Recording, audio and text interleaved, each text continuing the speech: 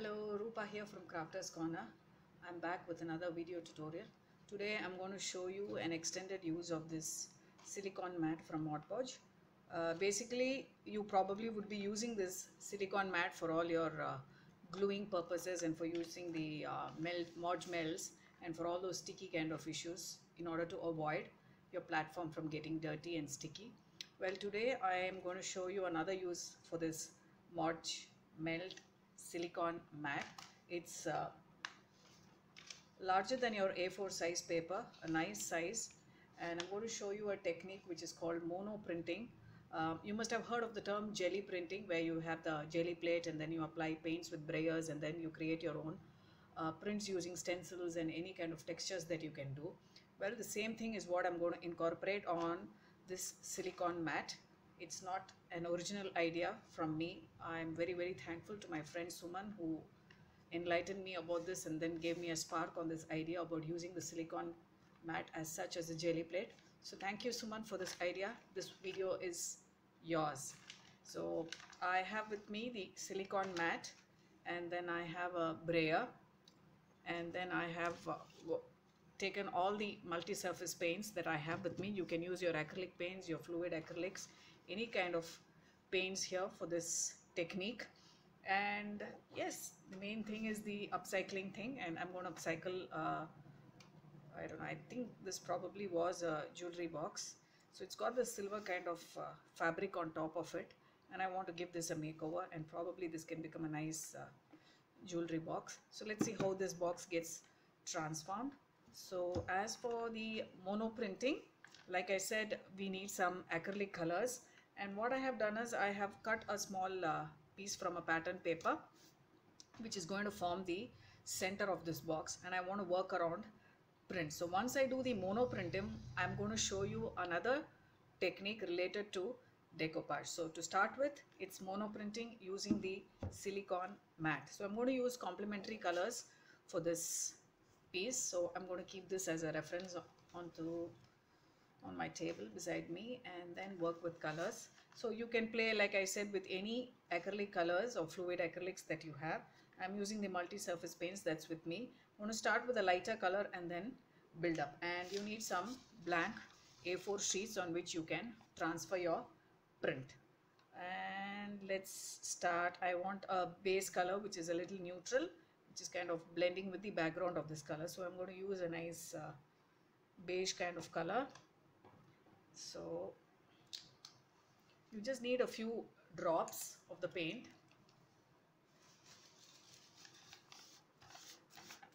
If you think the paint is too thick you can add a bit of water. So I'm going to layer the paint on the mat and let's say I want a bit of this is kind of yellow ochre. And just add a bit of brighter yellow to this. And of course you can create textures with stencils and all that. And then you use the brayer to smoothen out the paint. I hope I'm visible and in camera. So the brayer itself gives a lovely texture. So once the paint is spread out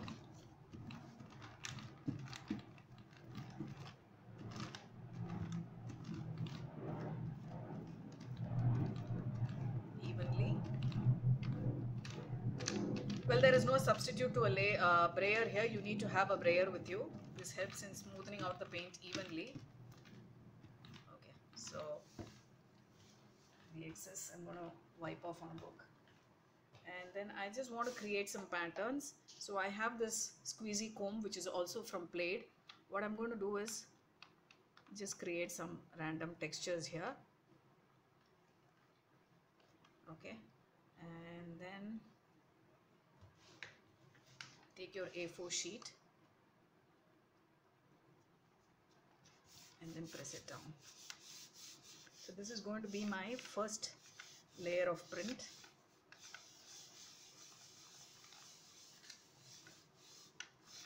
I'm showing you with monochrome colors colors of the same family. You could do two three colors but I want to build up layers. So let's see what comes out here and what comes out. Is a beautiful print here. Very much distressed and the kind that I would like. Now if I want to play up with colors now I, I move on to the next darker color. I could probably use some greens and blues which can come.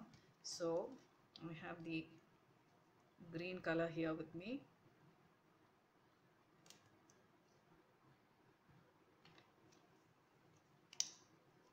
I'm going to apply the green color on the mat?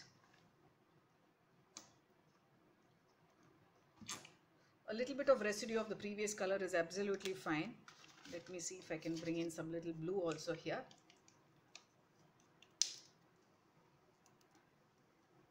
So these kind of monoprints that you use make excellent backgrounds for your mixed media for your art journaling and of course for the technique that I'm going to show you which I'm not going to reveal right now okay so I have a bit of blue here. And yes you have to be prepared for some mess. Messy play is all that I can think of when it comes to paints. Let me take the brayer. And yes let's smoothen out this green and blue. I like the combination here the green and the blue. So it depends of how many layers you want to build up. Two layers three layers you need to be careful about the color mixing. You can't end up having a muddy color. Okay so I have the green and the blue spread here. What I'm going to do is now I'm going to lay a big stencil a large one and then take another A4 sheet. And then take the print off. So whatever is the stenciled area that's going to be picked off from the mat okay so I remove the stencil and if you can see closely what you're left with is a lovely pattern here. I'm going to take the yellow paper again the same paper and then press it down on this.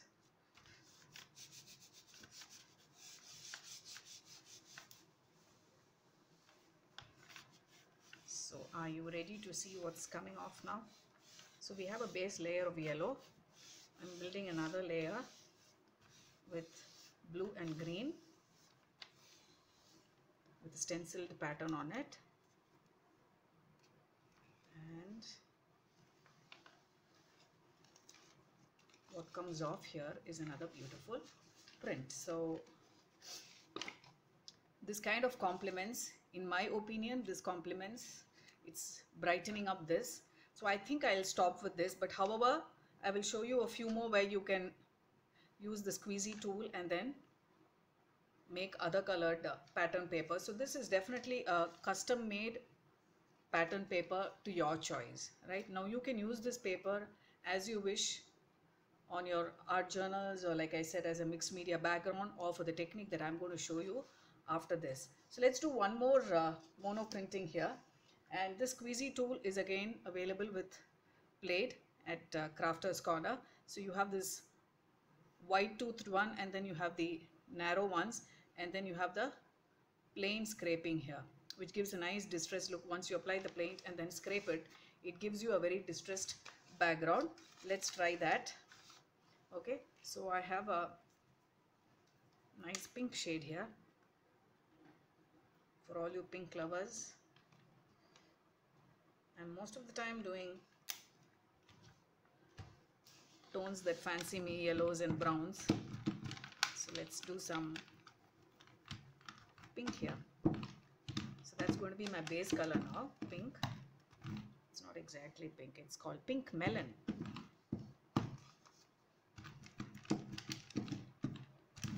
So once I apply that smoothing it out with a brayer. A brayer ensures a nice smooth even application of the paint. So let's take the squeezy tool again and I'm going to do um, checked pattern this time. So we have horizontal lines and then now I'm going to do some vertical lines. Yes it's pink on pink. It's going to be very difficult for you to catch the pattern but then what's the camera for? Let me get closer here. I hope you can see the lovely checks that's getting formed here. More so visible when I take it out on the A4 sheet. So that's my first layer of printing. This is regular printer paper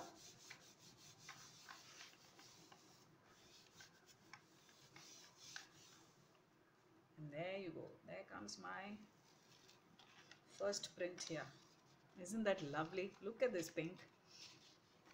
Well it's also picked up colors that are left over in the mat that's the beauty of it. Gives a nice distressed look.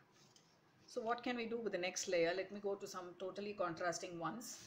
Maybe we could use a little bit of orange and teal. So let me squeeze out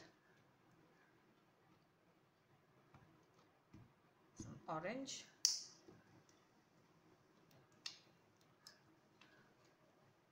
And bring in some then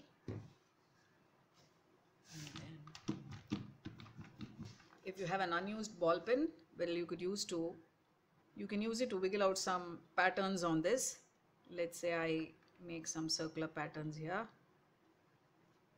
so this is basically removing the paint from that area. So you can use stencils you can use the squeezy comb you can also use stamps.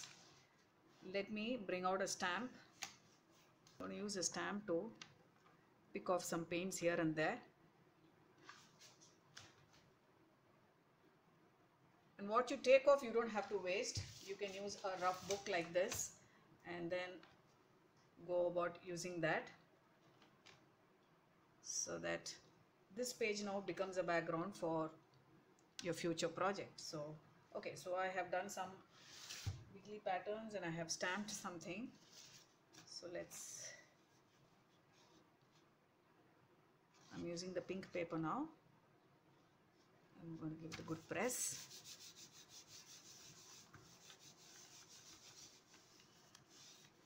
so the number of layers that you want to build up is totally your call I'm just showing you how your silicon mat is more than just a mat. Wow, look at that. Can you see the shades of green, orange, pink? Yeah, the teal is somewhere lost, but then uh, yes, I can see it here and there. And you can see the wiggly pattern here, the circles.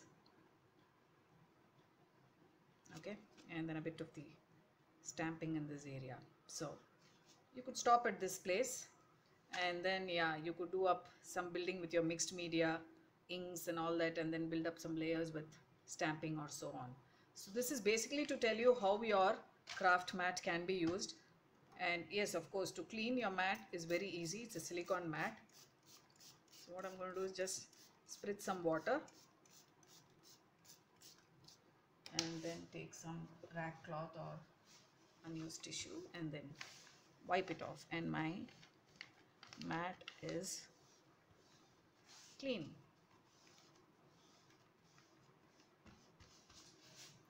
So now there's more than one use for your silicone mat. It's your printing press right now. So let your imagination run wild. Take out a brayer.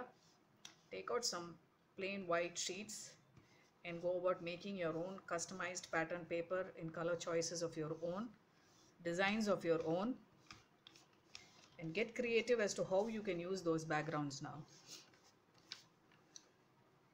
So yeah, my mat is clean now. So do give this technique a try. Now I'm going to show you how this customized pattern paper can be used. So I have this print with me and I have this pattern paper with me and I feel I can highlight a little bit of this violet here. So what I'm going to do is take some archival inks. These mini archival inks are also available at Crafters Corner. I see this lovely purple peeking out and this blue which I think can brighten up this so what I'm going to do is take this script stamp you can use any stamps so I'm going to have a random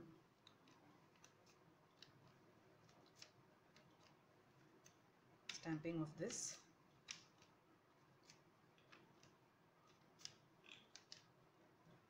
Come on this is your own pattern papers. So whatever you want to see on this well you don't want it to get too busy also. I want this to highlight this pattern which is going to come in the center. So I'm stopping with a little bit of script stamping. And let's see how this purple is going to be. Or should I do? Yeah I think purple is good that's brightening things up now voila you have your own own own own own designed pattern paper here. I know it's very busy right now. This is not how it's going to be presented. You can imagine. I'm going to have this in the center. If you think this is too bright for your standards well I'm happy with it so I'm stopping here. Nevertheless I'm going to add a few color splats to make it a little more distressed. So what I here very little and then make it a bit watery.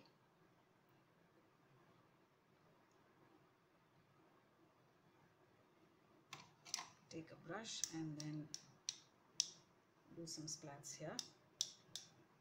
You know you can't see much. I'm also going to add some black color splats to the same. It's to dry now as it is the mono printing would have dried very fast because it's a very thin layer when you do it with the uh, brayer. But this watery paint needs to dry.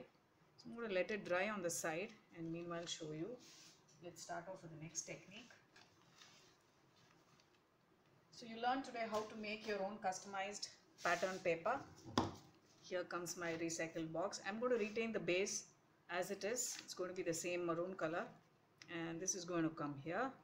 And I'm going to have those pattern chips coming here. So what we're going to do today is faux tile technique or you could say a faux mosaic tile technique whatever you want to call. So I'm going to create small chips right now and going to give it the glossy look of a tile which is obviously faux it's not the real tile.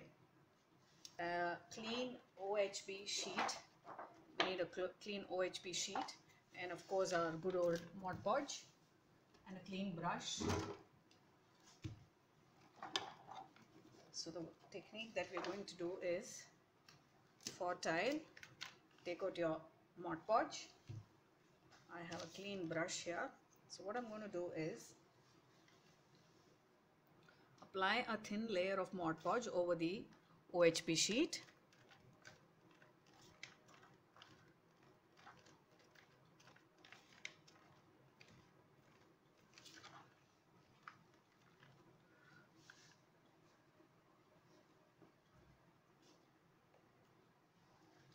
yeah so here's the Mod Podge on the OHP sheet. And I'm going to have a thin layer up on the pattern paper also on the right side of the pattern paper.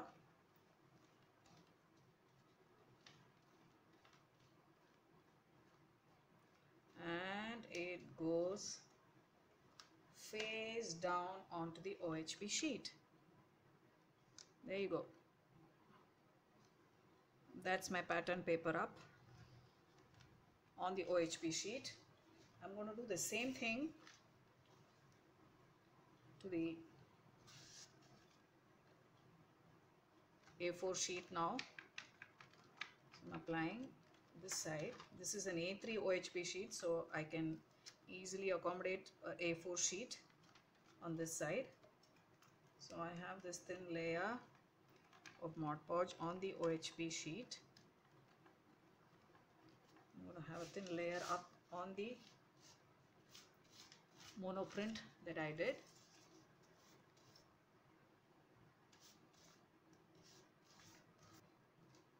And then smoothen it out.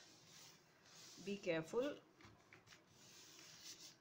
You want the paper pa- pattern paper or your printer paper to adhere well to the OHP sheet and mind you it should be a nice clean OHP sheet. Okay, so this is going to take a while to dry now. I'm going to spread it out. This will dry transparent. Pattern paper and the monoprint paper. So you can see the gloss effect because of the OHP sheet. The Mod Podge is dry. It's a thin uh, layer now. So what I'm going to do now is center this print here which will be a mosaic piece which will be cut into four. We're going to create the faux illusion of a mosaic here.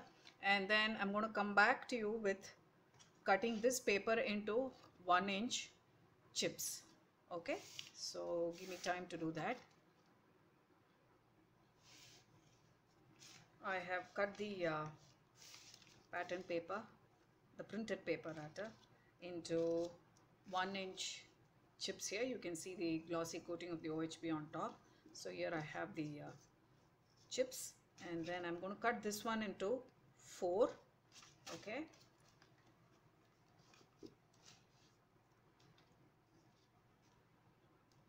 So I have this pattern paper also cut into four.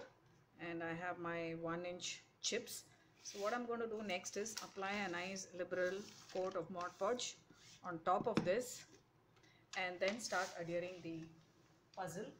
Yeah you can call it a puzzle now. Okay so I have the first piece. Yes clean fingers a must. I don't want any Mod Podge marks here. Then give a slight gap. This is the faux tile look. Okay so put the missing pieces now. Okay.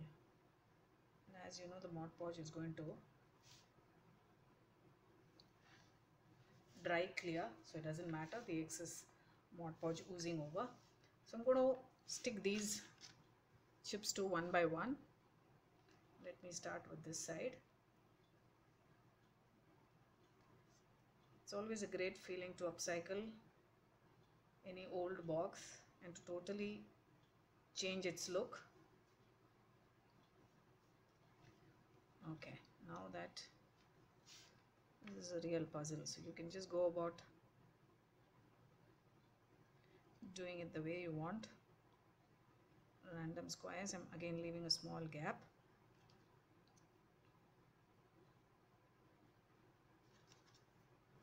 basically filling up the gaps here. So it's paper on the back side which is going to adhere really well to the Mod Podge. Try to maintain uniform gaps. So let me finish solving this puzzle and I'll come back to show you how this looks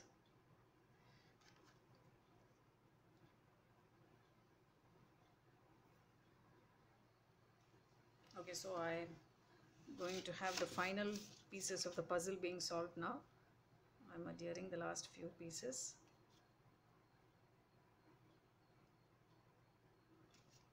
A very simple way a different way to do up your decoupaged projects now.